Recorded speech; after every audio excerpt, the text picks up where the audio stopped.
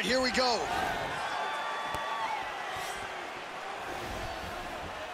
Gaethje's punch to the body is blocked, so no damage done there. Head off the center line, slips the punch. Nice punch there by Gaethje. Oh, man, look how quickly he gets that foot to the target. He got tagged there. Excellent head movement. Oh, beautiful! This could be it. Oh, look at this. Who saw that coming?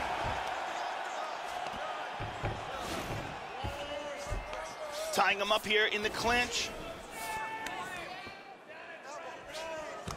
He pummels here, and now he's got double underhooks.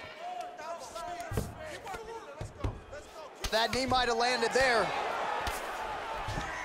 And from here, transitions to the Muay Thai clinch. Oh, good work with the knees here by Gaethje.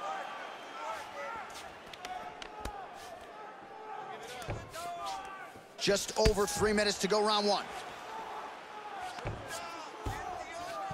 Oh, he's keeping busy here in the clinch. Knee to the body. And there he goes with those knees again.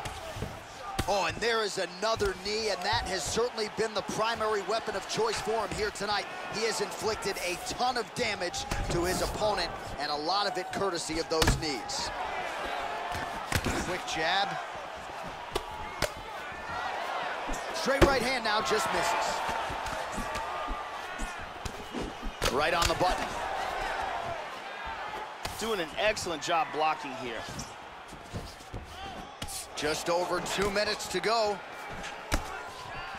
Oh, he lands another strike to the body here. He's really starting to connect, Joe, on a lot of these strikes to the midsection. That one appeared to stun him. Whoa. He's got him hurt here.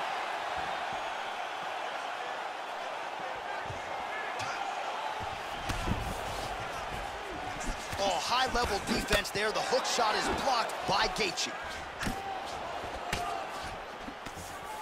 Oh, beautiful hook. It's the speed. Oh! Man, he's got to be careful here. He's clearly in trouble.